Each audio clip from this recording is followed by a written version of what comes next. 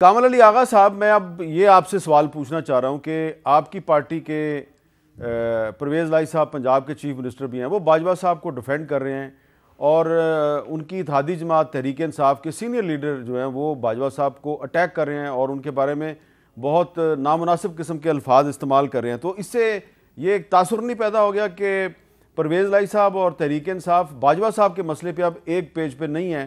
और नए army chief को मजबूर किया जा रहा है कि वो खुल के बाजवा साहब की सपोर्ट में सामने आ जाएँ।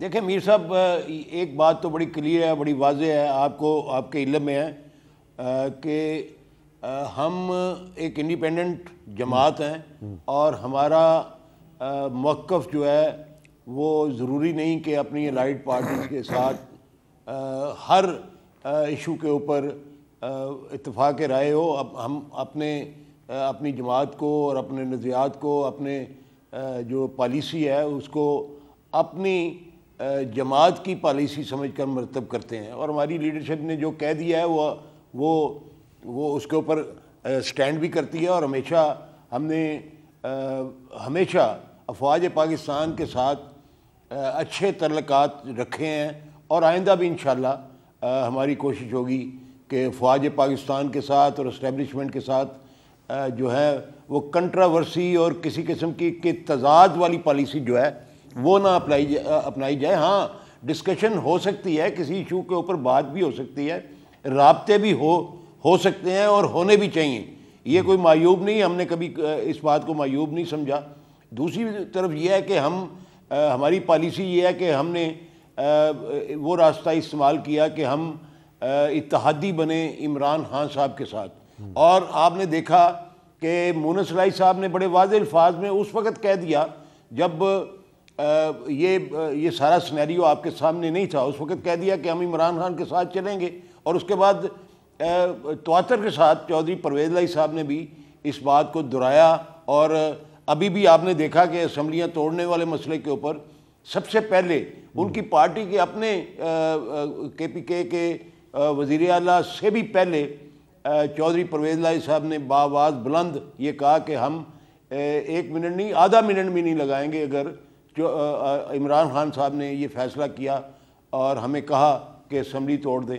तो ये ये हमारी अपनी एक पॉलिसी है जो हम उसके ऊपर चलते हैं और कोई बहाम इसके अंदर ना हम रखते हैं और ना इन ताला आइंदा आप देखेंगे कि किसी किस्म का इबहम हो।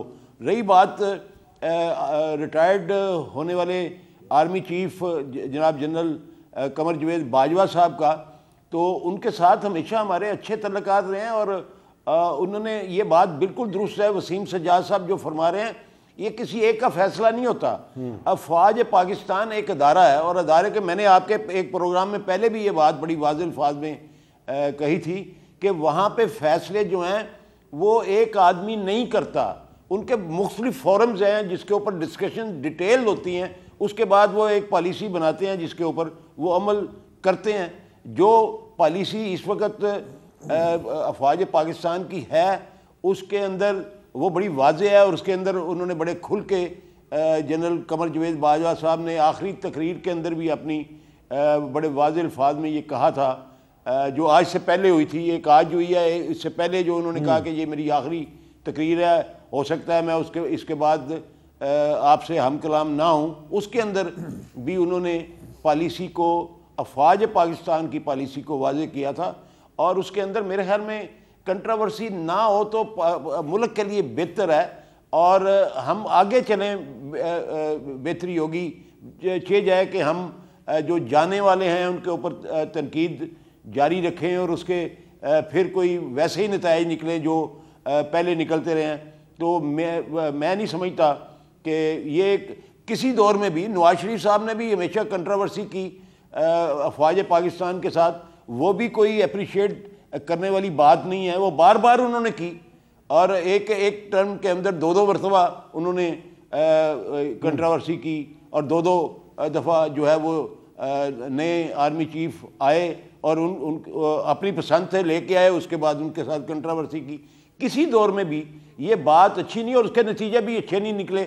और अब भी मेरे ख्याल में ये इससे दूर रहना चाहिए। और अगर अफवाज पाकिस्तान सियासत के अंदर कोई दखल नहीं रखना चाहते तो उसको अप्रिशिएट भी करना चाहिए बल्कि इंश्योर करना चाहिए। जी। ऐसे हालात पैदा करने करने चाहिए कि अफवाज पाकिस्तान जो है वो सियासत के अंदर, पार्लिमानी निज़ाम के अंदर कोई मुदाखलत ना करें और कोई दखल ना रखें। ये मुल्क और कौम के लिए बेहतर होगा।